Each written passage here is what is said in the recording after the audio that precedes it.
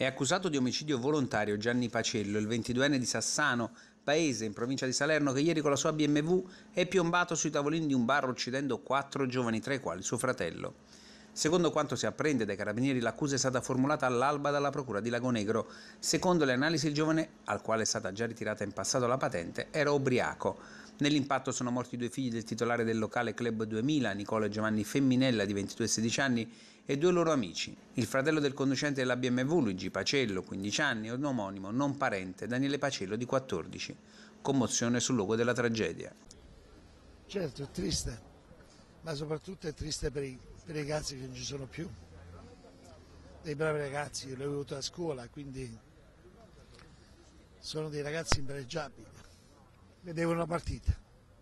Così trascorrevano la, il pomeriggio qui a scuola. Ah, sì. Non c'è altro, non c'è altra possibilità di poter divertirsi diversamente. E ai miei occhi ancora appaiono questi ragazzi a terra. Adesso il dramma delle famiglie. Le famiglie non solo di quelli che hanno perso direttamente i figli, ma anche di quello del conducente che a sua volta ha perso l'altro figlio ed è causa del primo che è successo tutto questo. Però chissà, sarà stato il destino, sarà stato qualcosa, non lo so, non lo so.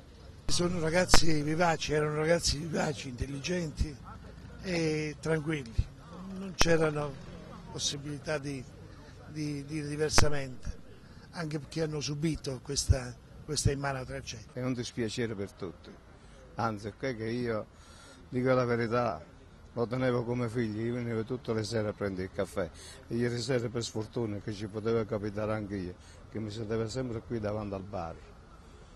Conosceva bene i ragazzi allora? Lo conosceva molto educato, molto educato, no quello che ha fatto l'incidente, quello non lo conosceva neanche.